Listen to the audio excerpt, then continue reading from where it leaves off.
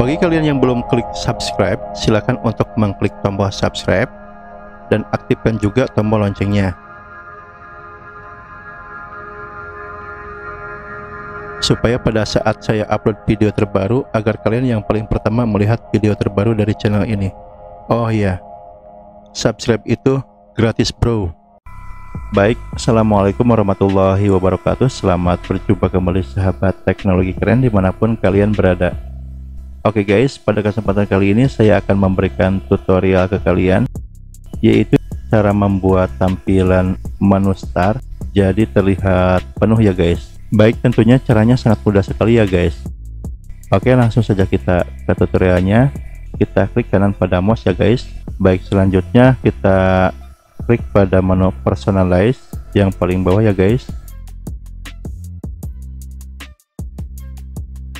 kemudian kita klik pada menu start yang ini ya guys. Posisinya ada di kiri. Oke kita klik. Kemudian uh, di sini terdapat beberapa pilihan ya guys. Nah kita klik pada menu use start full screen. Oke kita rubah ya uh, untuk off menjadi on. Nah kita tinggal klik saja. Dari off menjadi on baik kita close ya pada halaman ini. Kemudian kita klik pada menu Windows Start baik secara otomatis untuk tampilan pada menu Windows Start ini sudah terlihat full screen ya guys atau sudah terlihat penuh. Jadi uh, semakin lebih keren.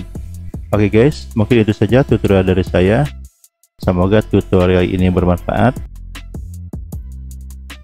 dan apabila kalian suka dengan video tutorial ini silahkan untuk mengklik tombol like subscribe dan komen ya guys. Dan saya akhiri dengan kata wabillahi taufiq wa hidayah. Wassalamualaikum warahmatullahi wabarakatuh